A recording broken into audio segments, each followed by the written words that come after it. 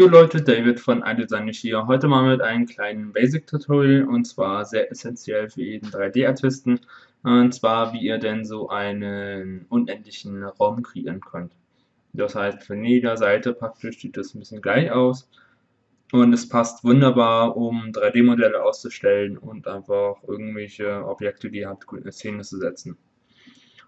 Äh, geht ganz fix und ich zeige euch das mal ganz kurz. Also ihr geht auf dieses Lichtsymbol und dann auf Boden. Wenn ihr das jetzt rendern wird, also durch meine Auflösung sieht man das hier nur am oberen Rande, weil das ist der Hintergrund, der ist schwarz und der Boden ist grau. Selbst wenn wir da jetzt eine Textur drauf packen, sieht es immer noch sehr sichtbar aus. Also Hintergrund schwarz und halt die Textur auf dem Boden. Darum machen wir na, die Textur lassen wir mal. Und zwar, doch, kurz mal weg. Dann machen wir uns kurz einen Hintergrund und äh, kriegen wir uns jetzt mal eine Textur. Das heißt, wir machen jetzt mal äh, bei Farben ein bei Farbverlauf Farbverlauf gehen wir rauf und dann invertieren wir das ganz kurz. Das heißt, wir gehen hier auf dieses schwarze Ding, rechte Maustaste und umkehren. Damit müssen wir das nicht manuell machen. Dann machen wir das schwarze, das ist der, das ist außen quasi. Also unser, für unser Flur machen wir, das ist das außen quasi die Vignette. Äh, die machen wir, also ist eigentlich egal, in unserem Fall machen wir die mal grün, weil unser Objekt sollte halt passen zum Hintergrund, deswegen machen wir uns gleich ein grünes Objekt. Das heißt, wir machen irgendwas hier so. Und dann bei Weiß machen wir ein Grün, aber ein sehr mintgrün. So, dann packen wir uns darauf. Ah, und eins noch, Worauf gehen nochmal auf Material, Farbelauf und das machen wir als Kreis. Äh, Kreis. So, jetzt habt ihr, wenn wir das rendern, seht ihr schon, haben wir einfach nur die Polygone, einzelnen Polygone Ersatz quasi. Ähm, also jedes einzelne Polygon, also jedes einzelne Kästchen hat ein, eine Textur. Deshalb gehen wir hier bei Textur bei Text Fläche und zwar gehen wir auf Frontal. Daher haben wir jetzt sowas. So, dann machen wir uns, genau, dann auf den Hintergrund und dasselbe, selbe Textur ziehen wir uns auf Hintergrund. Das heißt, wir gehen hier auf das Tag-Symbol dann STRG gedrückt halten und einfach hochziehen. Dann habt ihr es kopiert. Wenn ihr das jetzt äh, rendert, seht ihr hier der Hintergrund, der ist auch grün und unser Flow ist auch grün. Passt allerdings noch nicht so ganz, deswegen gehen wir auf Boden, rechte Maustaste, äh, Cinema 4D Tags, Render, dann gehen wir auf Hintergrund Compositing. Also, dass ein Haken gesetzt ist. Dann gehen wir auf dieses Tag der geht wieder und hochziehen. Das ist auf beiden. Und, voilà, müsste es, seht ihr, da gibt es jetzt keine Unterschiede. Das heißt, es ist jetzt quasi ein Raum. Jetzt passen wir noch die Ränder an, weil das sieht dann noch nicht so gut aus. Und zwar, wir gehen auf Ausgabe, gehen wir auf 1080p. Das heißt, Video 1080p. Und wenn wir das jetzt rendern, dann haben wir sowas hier. Das sieht doch schon mal echt gut aus. Jetzt machen wir uns noch ein Objekt. Und zwar machen wir uns einfach eine Kugel. Nichts Dramatisches. Einfach nur zum Zeigen. Äh, mit der Maustaste, damit wir das genau auf den Boden setzen können. Dann ja, machen wir uns eine Textur gehen wir hier bei Farbe, machen wir ein, was machen wir da mal, äh, damit es ein bisschen nach irgendwas aussieht. teilt. Das heißt, wir gehen auf Oberfläche, damit das ist so eine Wellenlinie. Seht ihr jetzt. Also machen wir gleich. Gehen wir rauf. Bei Kacheln machen wir nicht Kacheln, sondern können wir etwas anderes auswählen. Na, gucken wir mal, Wellen, machen wir mal Wellen 2. Was ist Wellen 1? Mal sehen. Ja, okay, gut, ist wurscht. Dann wechseln wir kurz die Farben, damit es halt passt, optisch machen wir helle Farben. Das heißt, äh, ähm, also, na, was haben wir? Also weiß. Dann machen wir mal ein ganzes Rot. Ja, okay, also ganz knallige Farben. Dann machen wir ein Grün. Und ja, gut, dann machen wir ein Blau, ist eigentlich wurscht. So, dann gehen wir auf Spiegelung. Spiegelung machen wir von Infernal. Also ihr könnt ja die Texturen und die Objekte anpassen, wie ihr wollt. Das ist egal. Ich sage euch das einfach nur anhand des Flores hier.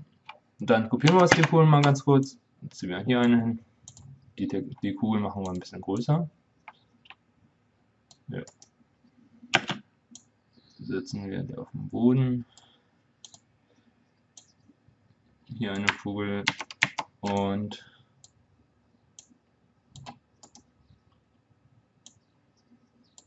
da eine Kugel. Ja, okay, die Kugel ist ein bisschen groß. Ich glaube, die machen wir ein bisschen kleiner. Ja.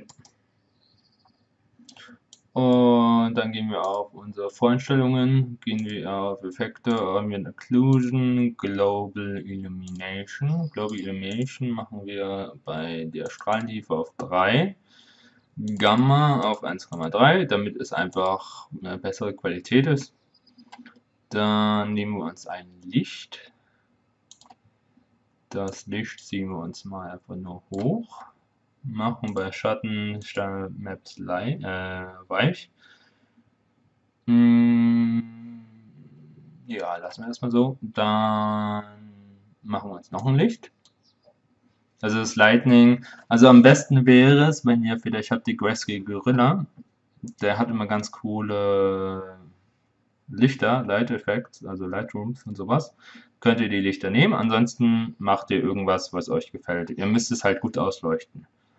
Das heißt, wir haben es jetzt nicht gemacht, das machen wir in ein Array rein, das heißt, dass es geklont wird quasi, so wie ihr es sehen könnt. Äh, Radius werden wir natürlich ein bisschen vergrößern.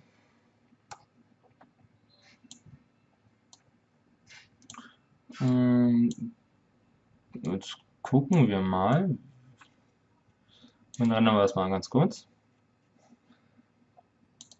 Und voilà, das sieht doch schon mal echt cool aus ähm, bin ich auch überrascht.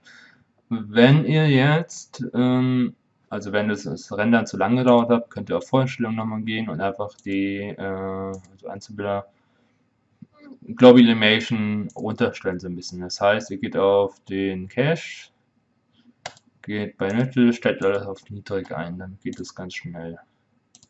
Wenn euer PC jetzt nicht so flott ist. Ansonsten, also von der Qualität macht es jetzt keinen großen Unterschied. Deshalb, wenn ihr halt einfach einen kleinen, nicht so schnell PC habt, dann stellt es am besten runter. Und dann würde ich sagen, haben wir es soweit. Also das heißt, ähm, ihr könnt es von allen Seiten nehmen. Ihr habt jetzt äh, sowas beispielsweise, das heißt ungefähr von 45 Grad Winkel aus. Habt ihr dann sowas. Oder halt, ihr macht es mehr oder weniger ein bisschen von oben könnte jetzt aufgrund des Lightnings jetzt nicht so gut aussehen. Ja doch, okay, sieht auch gut aus. Habt ihr sowas oder ihr, also ihr könnt hier von quasi von jedem Winkel, den ihr wollt, habt ihr letztendlich denselben Hintergrund. Was halt einfach die Sache ungemein leichter macht, um einfach Dinge zu präsentieren. Könnt ihr von jeder Seite ausleuchten. Ähm, ich denke mal, hier ist es ein bisschen zu hell. Ich mache das mal beziehungsweise ein bisschen höher einfach. Ja, unser Licht. Wo haben wir das? Ja, da oben machen wir vielleicht trotzdem mal 70. Oder 80. Machen wir mal 80. Und gucken wir mal. Ja, okay. Sieht auch ganz gut aus. Ja, ähm, und so könnt ihr einfach rumspielen mit euren Objekten und es ist einfach, denke ich, wirklich das Basic, was man so ein bisschen wissen muss. Um einfach für, sei es für Kunden oder für irgendwas, für irgendeine Präsentation, sieht es einfach ungemein cool aus und lässt sich einfach überall verwenden. Ihr solltet aufpassen, dass das nicht, dass die Farben sich nicht gegenseitig stechen. Das heißt, ich habe das Grün genommen bei meinen Objekten. Wenn ich jetzt beispielsweise, ähm, ich kann das halt immer anpassen, das heißt, gehe ich auf die Farben von unserem Farbverlauf unserem Hintergrund. Ich wechsle das jetzt in ein, sagen wir mal, was haben wir da mal? Ähm, Orange Ton. Ups. Das heißt, ein, ein dunkel Orange und mal wegen in einen, so einen hellen Orange. Weil ihr solltet das immer, damit es halt einen guten Effekt haben, immer so als Vignette haben, also dunkel und hell. Denn ihr solltet aufpassen, dass euer... Also das sieht jetzt auch okay aus, muss ich gestehen. Aber ihr solltet darauf achten, äh, weil es mir aufgefallen, dass wenn ihr halt einfach von eure Objekte von den Farben her, dass es halt nicht passt mit dem Hintergrund, dann sieht das ganze Ding einfach doof aus. Das heißt, ihr solltet mindestens eine Farbe im Objekt haben, damit es halt gut aussieht. Oder halt, ihr macht einfach ein klassisches Weiß, beziehungsweise sowas, wie ich es jetzt habe. Das sieht auch ganz gut aus. Ansonsten würde ich sagen, äh, das war's soweit. Haut rein und wir sehen uns beim nächsten Mal wieder. Ich hoffe, ihr konntet das lernen. Wenn ihr wollt, dann könnt ihr mich gerne abonnieren. Könnt das Video auch gerne mal teilen und einen Daumen nach oben geben. Und ansonsten würde ich sagen, haut rein, Peace und bis dann.